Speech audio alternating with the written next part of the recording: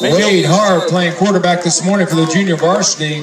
Pass intended for 42. Will Hart just out of his reach brings up second down 10 for the Patriots.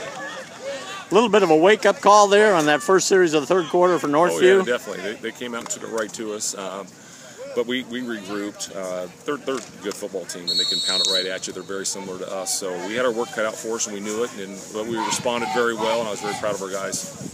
Logan Grimm had a nice ball game. Real nice ball game. It's nice to see him go from a 140 pound dripping wet wing back blocker to now be able to get some touches and, and Bailey be, Barnes be our on the carry. back. So he, he did a great job.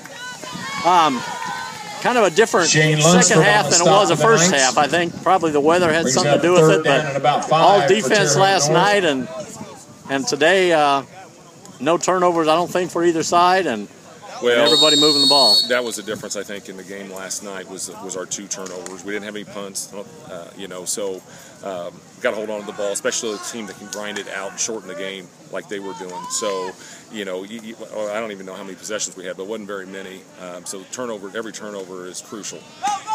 Uh, last time you're going to play them for a while at least. Uh, what are your thoughts on that? Uh, it's disappointing. Uh, they're a very close game. It's kind of turned into a rivalry game. Barnes on the Uh, carry. Great financially for both teams, you know, because the crowds are always so good. So that's going to make a make a small dent, I think. Fourth down and about Um, four but you know, our coaching staffs know each other really well. So anytime something like that, it's disappointing, especially anytime you got to drive 20 minutes to play a game. That's always that's always nice to have with as much as we travel. But uh, understand why it's happening. They've got to do what they've got to do conference uh, with their conference situation. So wish them the best of luck.